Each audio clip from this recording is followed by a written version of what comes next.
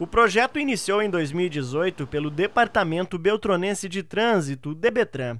Duas chamadas faixas de retenções foram colocadas em cruzamentos de grande movimento do município.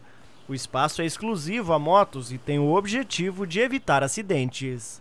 Isso minimiza o risco de acidente né, no momento da arrancada, no semáforo também, né, torna o motociclista mais visível no trânsito. Recentemente, após os dados positivos, o município ampliou o número dos espaços. Passou de dois para quatro. Francisco Beltrão tem mais de 13.500 motos emplacadas aqui, então é um grupo bastante grande. E essas faixas exclusivas, elas possibilitam uma segurança maior.